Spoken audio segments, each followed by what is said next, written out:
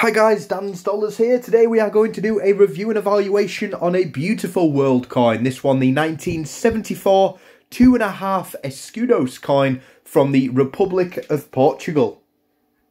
We'll then start off on the front of the coin, 1974, the year the coin was made. República Portuguesa around the outside of the coin, which stands for Republic of Portugal. And you've got the mass ship there in the middle of the coin. A little bit similar to the Sir Francis Drake's The Golden Hind, which can be found on the United Kingdom halfpenny coin.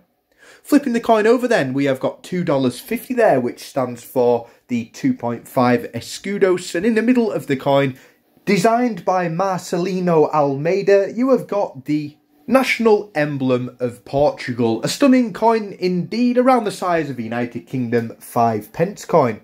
So next we'll move on to the mintage figures, exactly how many of this coin was made, and then we can work out this coin's true value. So back in 1974, there was indeed 22,743,000 of these coins made for Portuguese circulation. That therefore does mean a perfect uncirculated version is worth between two to three pounds. That's roughly the same in euros and dollars. And if you do have one of these in used condition, unfortunately, it is only worth around the 50 pence, the 50 cents and the 50 euro cents mark.